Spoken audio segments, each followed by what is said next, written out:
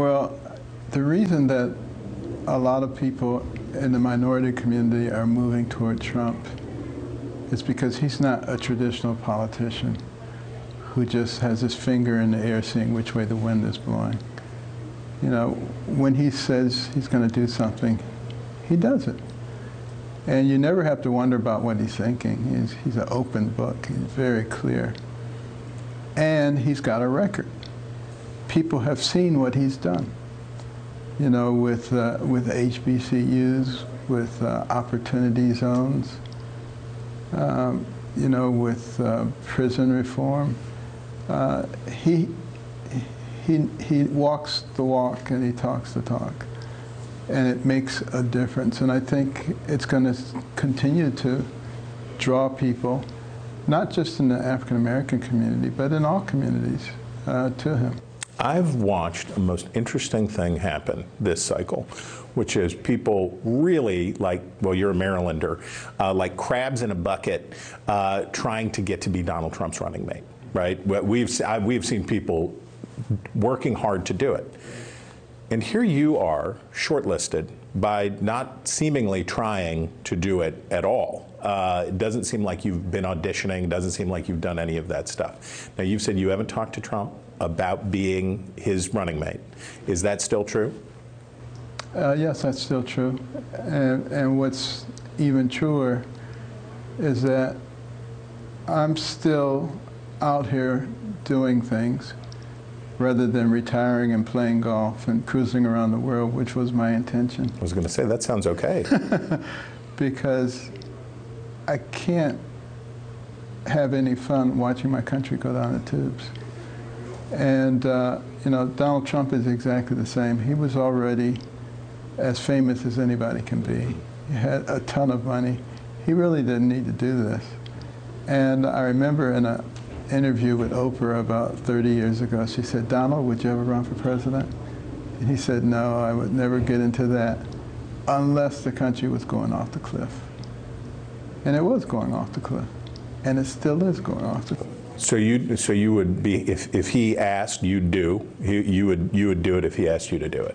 I would uh, prayerfully consider doing that uh, and asking God what is the best role for me in trying to save our country and to bring us back. Uh, now, what have you heard from Donald Trump that makes you confident, or less confident, I don't know, but more confident that we can avoid an event like January 6th a second time around. So what, what have you heard that makes you more confident that in January 2025 we're not going to be in the same situation we were in January 2021?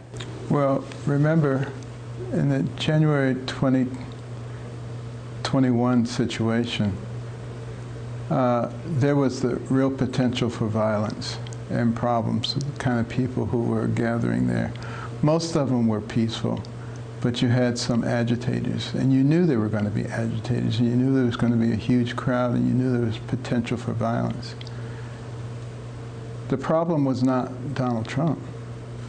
The problem was Nancy Pelosi, who, and the mayor of the city, who did not take advantage of having the appropriate measures in place. And that's no, the, the, no doubt that more could have been done there, but the, the, the precursor was the um, the claim of the stolen election and all and and that part and trying to disrupt maybe peacefully for most of them but trying to disrupt co the Congress certifying the results of the election right well, certainly you never want that situation to occur again, and I think that those lessons have been learned uh, by both sides. But, uh, you know, I vehemently uh, disagree that it was Donald Trump's fault.